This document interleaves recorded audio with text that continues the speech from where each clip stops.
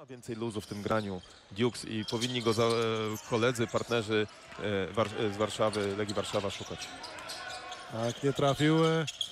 Teraz Piechowicz, ale jaką czapę założył teraz Mariuszowi Konopackiemu.